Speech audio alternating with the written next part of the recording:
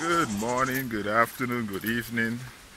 Welcome back to the channel. So, as you can see, I have a lot of stuff in my hand today. Documents, bags, laptop and whatnot. Um, today we're going to be starting another install, not my car this time, um, another customer. Um, so stay tuned and then we'll go, we'll get right into that. Should be fun. Okay, so we have this beauty here today. And we have the MAN Vibert. Right, Vibert has a IS200. Similar to the one we did the last time, but this one does not have the 3S GE in it. This one has a 1G FE. I would open up the the the, the bonnet here. So you can see something totally different. Six cylinders. Vibert is also installing a supercharger, Vibert? Yep. Yeah, is also installing a supercharger on this one. So we're just getting it prepped for the ECU and after that he's going to finish up the supercharger and then we'll finish off the tuning with the supercharger when he gets it installed. Right, let's go on the inside see what we're working with okay so we have the harness already done Vibert bought the ECU setup from the previous Altezza the white one with the 3S because Yogi ended up selling the car. He took off the ECU so we're just basically adding a few more the injector outputs since I only did it for a four cylinder. We add in the injector outputs and we add in a control wire for the supercharger clutch. So we're just going to wrap that up and install his wideband and hopefully before the end of the day have it running on the Speeduino and start with some tuning okay so at this point the harness has been fished through the firewall a couple tie straps holding it there loosely so the harness modified for six cylinder now. It's going to be running batch injection. Um, let's go on the inside. Dash has been removed. This is the ECU end. Some other wires here for launch going to the clutch switch. Uh, 5 volts for the wideband and the wideband input. Goes through the firewall.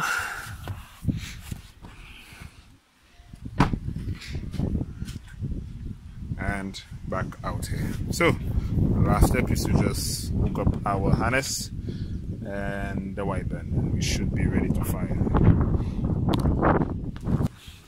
okay it's a bit windy but at the end of the day we have the Speeduino harness coming out here.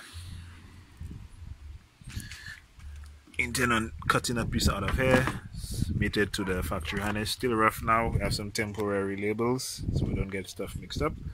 Um, tomorrow we plan on cleaning up the wiring some bit a bit more installing the wideband and what else have it yeah and tune.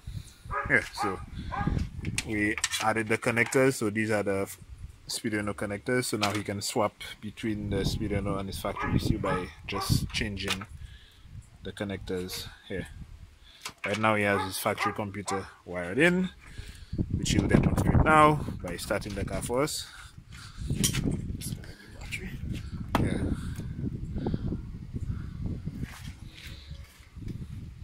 so his car should start right up because it's on the factory ECU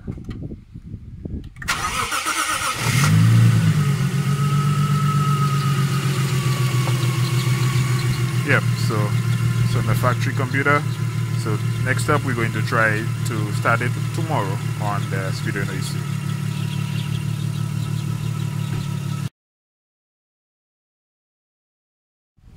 okay so at this point um, the wired the wideband is wired in. Um, what else? Factory ECU is still connected. Vibert is waiting patiently. Speeduino ECU is connected um, we already marked the crank pulley so what we're going to do now we're going to start it up on the factory ECU and just verify that Speeduino is getting its RPM signal car should run just fine um, in parallel with the speedo. And then when we satisfy, we get in RPM and temperature temperature sensors and all are reading correctly, wideband and whatnot. We're then going to switch the control of the fuel under spark over by switching the connectors here to the Speeduino. Then we're going to sync timing and if all is well, we're going to take it out for a drive, do some tuning and then after that we're going to come back and knit up all the wiring. We don't want to close up the harness just yet in case we have any bugs or anything we need to fix. So this is how the wiring stays for now then we're going to go back and tie strap and make everything look really neat okay so we went ahead and calibrated the TPS the temperature sensors and the wideband. So we're going to try to start up Vibert and make sure you're neutral. And then we should get battery. Okay gonna double check the battery connection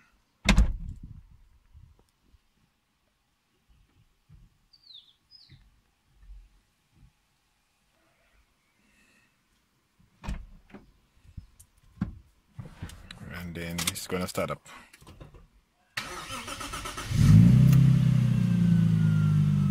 Okay so we have RPM temperature sensors are working fine. We have vacuum. We have fuel ratio 59 14 so we have everything pretty much working good on the factory ECU. All sensors are reading correctly. Let's verify. So we have about 900 RPM here. And we have about 900 here. So next step, we're going to switch to the Speeduino. Moment of truth, Vibert. Excited? Yeah, okay, so we're attempting a true first start. So the Speeduino is now hooked up. Put the key on, Vibert. Uh, we're not sure of trigger angle, but I have the timing light hooked up. So if it starts, I'm just going to verify trigger. So go ahead and try to swing Vibert. Okay, give it a little throttle, a little gas. Just about, yeah, not so much, a, little bit less. Alright, go.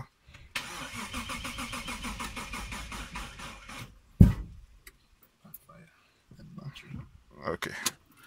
All right. So, first start was not a success. We'll try to start it off camera and then take it from there. All right. So, take two. Um, we found some issues. Number one, the battery was dead.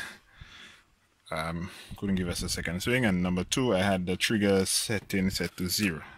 So I set it to something a bit more well, accurate, what I think will work. And we're about to do a take two. Go ahead, Vibert, on the speed no issue.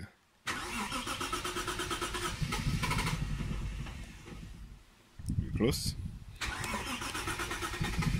Little gas. Alright.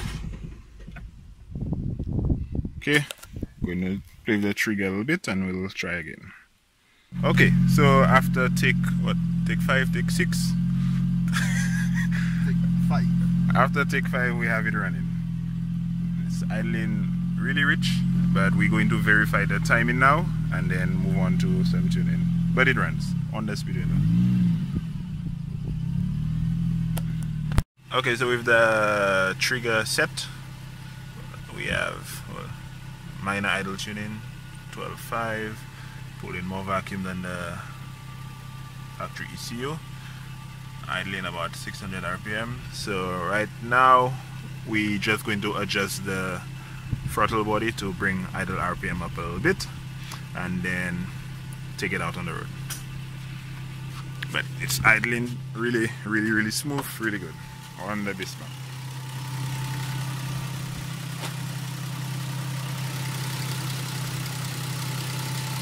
factory ECU disconnected Alright, so we're about to take the car out on its maiden voyage to get some fuel and do some initial street tuning. Right, Vibert? Yep. Alright.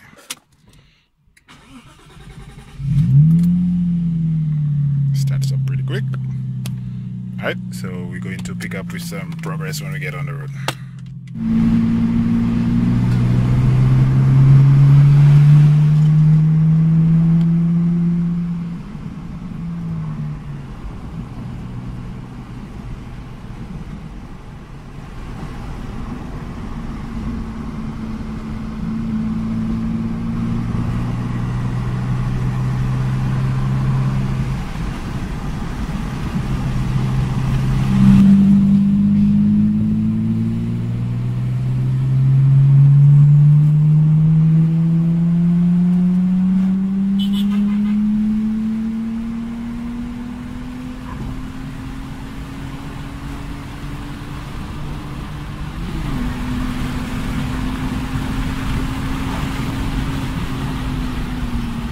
Okay, so we're out for our final drive of the day.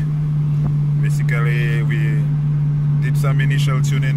Hope to finish up tomorrow, but for the most part, it's driving pretty good. Um, air fuel ratios are good, torque is good, idle is good, and we in some traffic here now, and the car is behaving beautifully. Acceleration fuel cut is on, so he has the engine braking.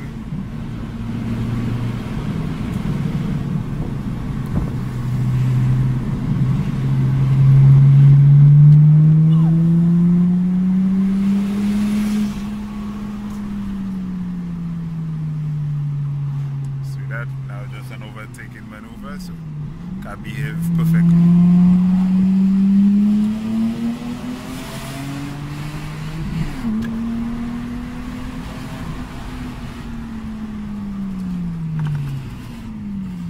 Yeah.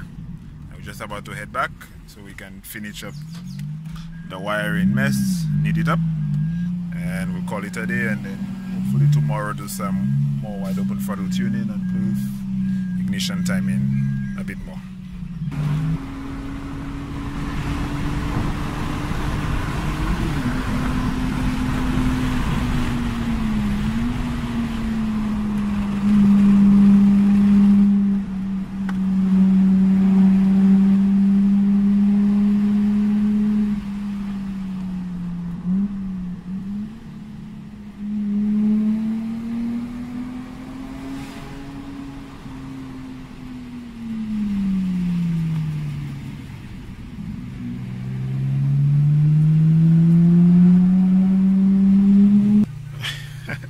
So we're just about wrapped up for the day. And some of the wires tucked up. We're gonna finish it up tomorrow. Speedo is here. Vibert has the MS Droid on his phone so he can log on his way home. Idling about a 14, 14, 4, 14, 5. Sounding good. Two step installed, right, Vibert? Yep. No flames, but you have two step. yeah, so it's gonna wrap it up for today. We're going to hopefully pick up tomorrow with some more wide open throttle tuning.